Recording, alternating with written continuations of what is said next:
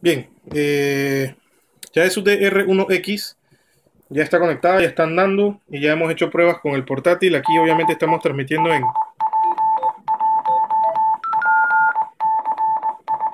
Se la repetidora ahí anunciándose cada 3 minutos. Aquí estamos transmitiendo en FM. Eh, ah, bueno, no tengo... Vamos a ver si configuramos acá. La repetidora está en negativo. Ah, correcto, ahí está.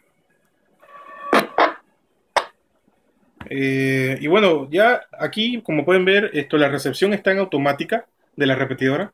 Eh, cualquier eh, señal digital o análoga que entre, pues ella simplemente se va a ajustar a ella, a la señal, y pues de esa misma manera va a transmitir. Sin embargo, en el TX sí está fijo para que siempre transmitan FM, sin importar de, del tipo de, de radio que esté transmitiendo. Siempre las otras personas van a poder escuchar. Eh, eso de todas maneras me gustaría probarlo con el radio digital, el cual no tengo ahorita mismo. Eh, espero poder tener uno de repente, no sé si el domingo alguien me presta alguno para hacer unas pruebas.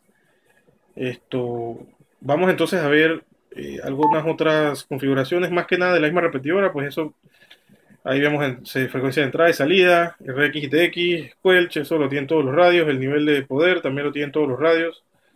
Este tiene 3, low, medium y high. Ahorita estamos en low las funciones, podemos ver pues el signaling, esto es digital, squelch code, eh, que está en off, el timeout timer, timer, que lo tienen todos los radios a 5 minutos, eh, el ID, aquí ahorita mismo tenemos HP1 PCS, eh, esto que es sí definitivamente algo de la repetidora, que es para conectar un controlador remoto, aquí me está yendo el foco, obviamente no tenemos ahorita ninguno, así que está apagado, el tipo de squelch, en RX y TX. Eh, vamos a ver qué tenemos por acá. Tenemos Tone, DCS, Tone y DCS. Eh, ¿Qué más? El ID ya lo vimos. Esto pues es para setear la frecuencia. Ah, y una cosa muy importante que es la gente estaba diciendo que no se podía hacer crossband. Vamos a ver acá. Vamos a poner el low. 430.00. Vamos entonces acá a setear el radio. Y vamos a transmitir.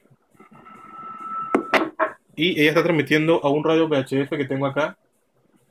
Eh, como pueden ver, estoy transmitiendo en 430 y ella está transmitiendo en 144600.